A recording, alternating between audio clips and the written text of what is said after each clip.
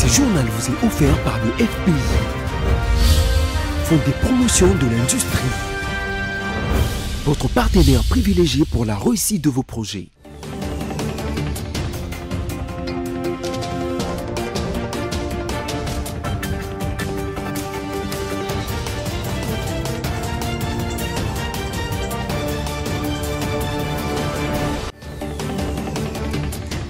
Ça a toujours été un réel plaisir de vous retrouver pour notre rendez-vous d'actualité. Madame, Monsieur, bonsoir et bienvenue. Voici les grandes articulations.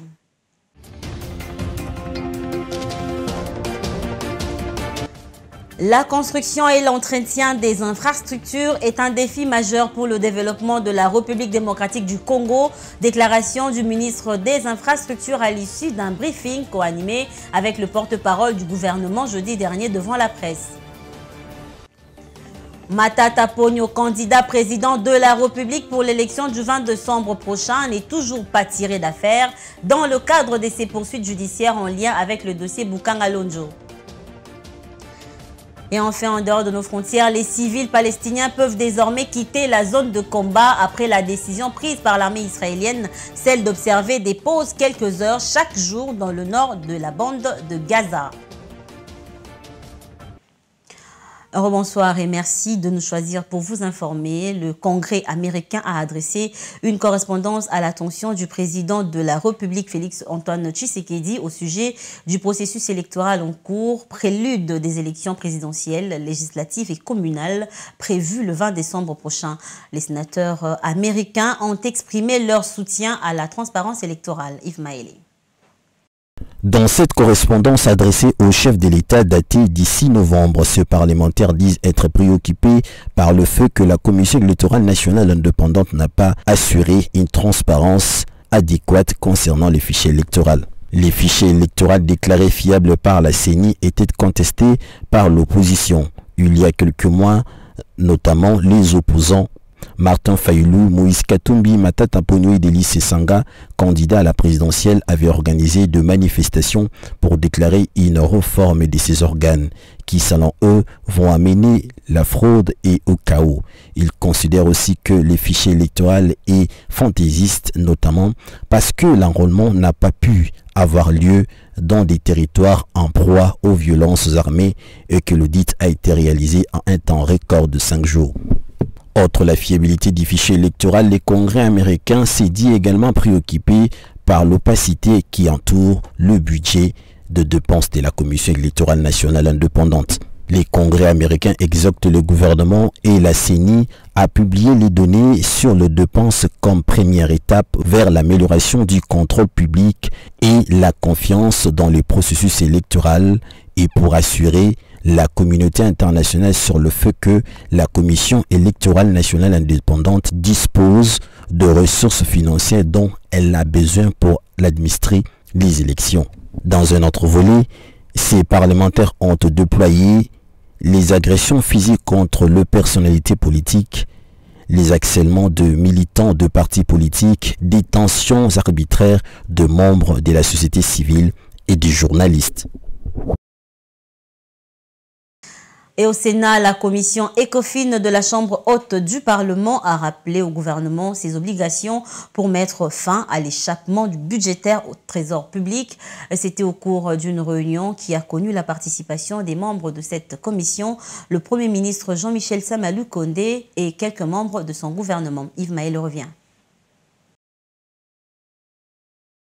De 11,3 milliards de dollars américains échappent au trésor public. C'est une des conclusions des enquêtes faites par la commission ECOFIN du Sénat pour maximiser de recettes. Les sénateurs ont rappelé au gouvernement ses obligations. Présent au bureau du président du Sénat, le Premier ministre Jean-Michel Samalou Condé, accompagné de quelques membres du gouvernement, ont échangé sur les recommandations faites par cette commission pour la maximisation du budget de la République démocratique du Congo. Du pays. Nous avons estimé qu'il était important avant que ces chiffres ne soient portés justement dans la loi des finances de l'exercice 2023, nous avons pensé qu'il était important euh, qu'une rencontre de haut niveau ait lieu entre les présidents euh, du Sénat, euh, le Premier ministre et quelques membres du gouvernement pour plancher sur cette situation et insister auprès du gouvernement pour que les droits qui ont été calculés soient effectivement recouvrés. Son Excellence, Monsieur le Premier ministre, s'est engagé pouvoir réunir très rapidement euh, les membres du gouvernement concernés par ce dossier pour examiner toute la pile des informations que nous avons mises à leur disposition. Une fois que ce travail aura été fait, nous, prendrons, nous reprendrons contact avec eux, nous comme ECOFIN du Sénat, pour évaluer la mise en œuvre. Cette séance de travail intervient au moment où les Sénats examinent en seconde lecture le projet de loi de finances exercice 2024. Du Sénat à la fonction publique après l'annonce sur le retard dans la paye du mois d'octobre 2023 des fonctionnaires publics. Une réunion d'évaluation s'est tenue jeudi dernier entre l'intersyndicale nationale de l'administration publique et le vice-premier ministre en charge de la fonction publique Jean-Pierre Liaou. À l'issue de cette réunion, l'INAP confirme l'effectivité de la paye du mois d'octobre et appelle les agents qui ne sont pas encore servis au calme. Suivez. Nous avons été en réunion d'évaluation parce que c'était prévu depuis le jour où nous avons informé les agents que la paye du mois d'octobre interviendra avec un retard. Alors il était prévu que nous puissions nous rencontrer avec le vice-premier ministre et ses services pour évaluer. Nous sommes aujourd'hui les 9. Nous devrions savoir à quel niveau se trouve la paye. C'est pour ça que nous sommes venus le voir et nous avons évalué. La paye est dans les bons. Déjà, depuis vendredi passé, la paye a commencé. On a payé les militaires, les policiers tous les enseignants et quelques services de sécurité. Et aujourd'hui, il y a plus ou moins sept banques qui vont être servies. Donc, dès demain, ceux qui sont dans des banques telles que Afriland, Iboa, BGFI Bank, et ainsi de suite, devront aller toucher leur salaire. Donc pour nous, la promesse est tenue. Et par rapport à une certaine rumeur qui circule pour euh, une quelconque descente à la place Golgotha demain, vendredi les 10, nous rassurons, nous demandons aux agents que ces messages-là n'émanent pas de l'intersyndicale nationale de l'administration publique et qu'il n'y a aucun sit-in ou une quelconque rassemblement des agents qui est prévu demain. Nous demandons aux agents de vaquer à leurs occupations. Je vais l'annoncer au sommaire que la construction et l'entretien des infrastructures est un défi majeur pour le développement de la République démocratique du Congo, a déclaré dans la soirée du jeudi 9 novembre le ministre d'État, ministre des Infrastructures Alexis Guizaro, au cours d'un briefing sur le bilan et perspectives du secteur des infrastructures co-animé avec son collègue de la communication et porte-parole du gouvernement, Patrick Mouyaya dans le cadre de ces efforts visant à promouvoir les développements économiques et sociaux, le gouvernement s'est lancé dans divers programmes de réhabilitation et de modernisation des infrastructures à travers le pays. Cette initiative ambitieuse vise à améliorer la connectivité et à créer un environnement propice aux investissements, au commerce et à la mobilité des citoyens, a déclaré devant la presse le ministre d'État en charge des infrastructures, travaux publics et reconstruction ITPR qui avait à ses côtés le porte-parole du gouvernement, Patrick Mouyaya. Connecter toute cette étendue. Ça nécessite des investissements importants des investissements coûteux et cela prend surtout du temps. Parce qu'on ne construit pas une route, à titre d'exemple, en une année, deux, ans, deux, années, trois ans. Parce que bien souvent, euh, les distances qu'il y a entre nos différents euh, chefs-lieux, pour ne prendre que cet exemple-là, euh, sont des distances qui vont dans des centaines de kilomètres, pour ne pas parler de milliers de kilomètres. Une route telle que la route nationale numéro 5, par exemple, vous fait plus de 1300 kilomètres. Concernant les projets Kinshasa Zero Trou, Alexis Guissaro affirme que ces programmes visent à réhabiliter quelques artères qui ont été identifiées dans la capitale. Kinshasa Zero Trou, Kinshasa Zero Trou, nous l'avons baptisé ainsi parce qu'il s'agit d'une ambition du gouvernement. Notre gouvernement ambitionne, le gouvernement de Warrior ambitionne de faire de Kinshasa une ville sans trou. C'est pour cela que nous avons appelé ça Kinshasa sans trou ou Kinshasa zéro trou. Ça ne veut pas dire réhabiliter toutes les artères de Kinshasa, mais s'attaquer aux artères dégradées de manière à ce qu'il n'y ait plus de trous dans la ville de Kinshasa. Rappelons que le ministre d'État a en outre annoncé un grand projet d'acquisition d'engins et d'équipements pour l'Office des routes de l'OVD. Tout à fait autre chose à présent, après l'interpellation de 42 étudiants en situation irrégulière par la police burundaise à Bujumbura les jeudis 9 novembre 2023, lors d'un contrôle dans un quartier de la commune de Ngangara. Dans une interview accordée à nos confrères de la radio Top Congo FM, le vice-ministre des Affaires étrangères, Crispin Badou, a indiqué que les formalités étaient déjà en cours pour la mise à jour de leur titre de séjour en territoire burundais. On l'écoute. Nous avons été saisis par euh, notre ambassadeur euh, en poste à Bujumbura. Selon les dernières informations à notre possession, effectivement, 42 compatriotes euh, congolais, pour la majorité des étudiants, ont été interpellés.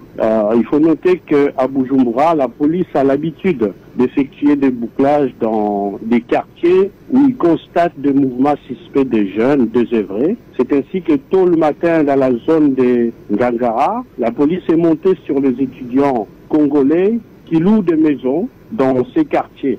Et c'est lors de ce contrôle qu'ils ont été arrêtés. La plupart euh, ne sont malheureusement pas en ordre avec l'immigration. Euh, notre ambassadeur est actuellement sur les lieux de leur détention et nous travaillons pour leur libération. Il faut noter quand même que le Burundi est un frère avec lequel la RDC entretient de très bonnes relations bilatérales, des relations basées sur des liens historiques et nous travaillons justement pour que euh, pareille situation ne se répète plus.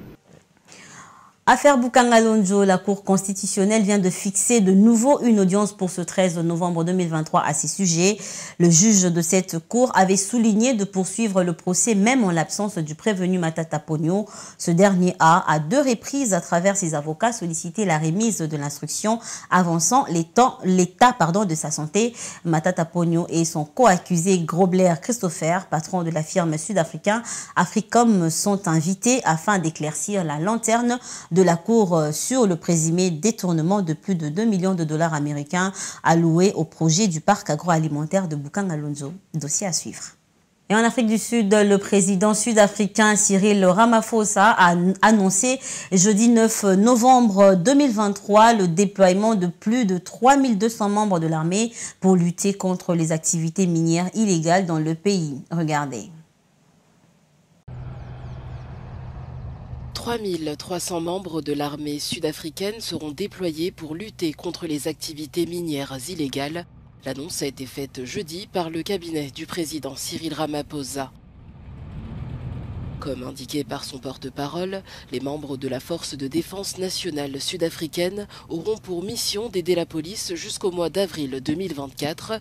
L'opération est chiffrée à près de 25 millions d'euros, précise le communiqué. En Afrique du Sud, notamment dans la province de Gauteng, la région est parsemée de puits et de tranchées profondes laissées par des générations de mineurs informels. Ces derniers tentent de gagner de l'argent en travaillant dans des puits clandestins, parfois au péril de leur vie. Mais ces opérations illégales affectent également les mines en activité. Les entreprises se plaignent depuis des années pour leur argent et la menace que cela représente pour leur personnel.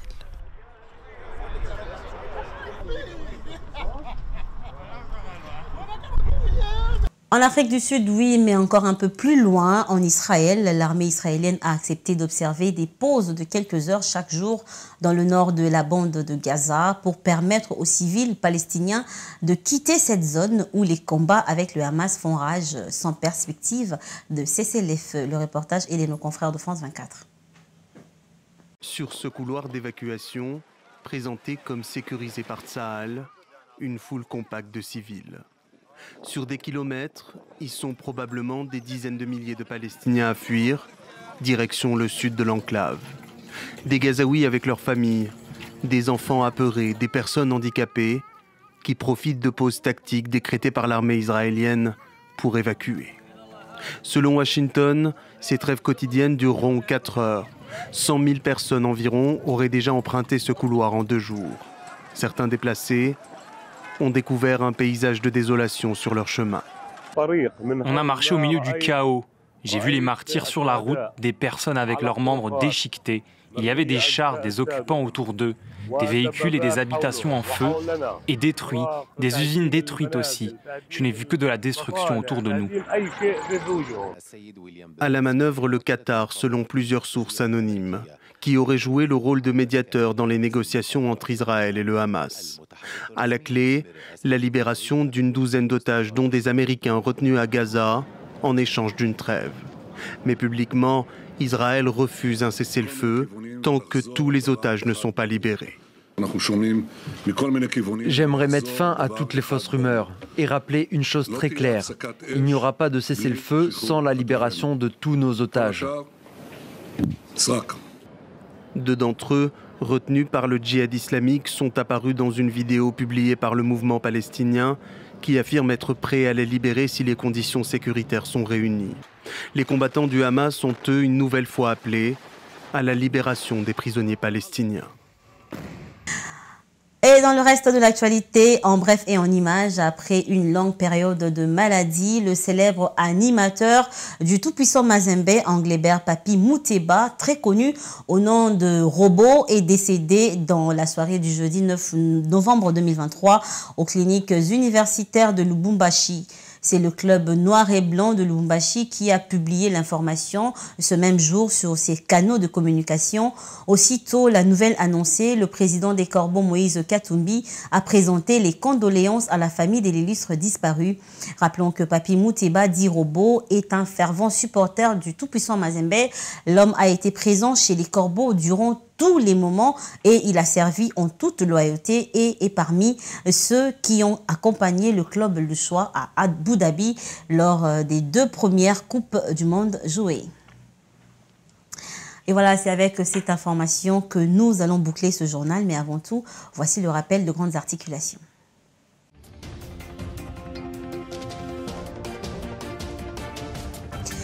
La construction et l'entretien des infrastructures est un défi majeur pour le développement de la RDC. Déclaration du ministre des Infrastructures à l'issue d'un briefing co-animé avec le porte-parole du gouvernement jeudi dernier devant la presse. Et Matata Pogno, candidat président de la République pour l'élection du 20 décembre prochain, n'est toujours pas tiré d'affaire dans le cadre de ses poursuites judiciaires en lien avec le dossier Bukangalonjo. Et enfin, en dehors de nos frontières, les civils palestiniens peuvent désormais quitter la zone de combat après la décision prise par l'armée israélienne, celle d'observer des pauses quelques heures chaque jour dans le nord de la bande de Gaza. Et voilà tout pour ce soir, Madame, Monsieur. Merci à vous de nous avoir suivis. Restez branchés sur le programme de Besse et Télévision. Mais dans notre temps, passez un excellent week-end. Au revoir.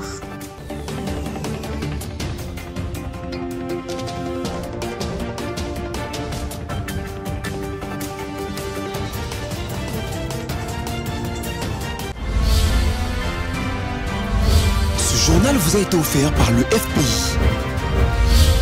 Fonds des promotions de l'industrie. Votre partenaire privilégié pour la réussite de vos projets.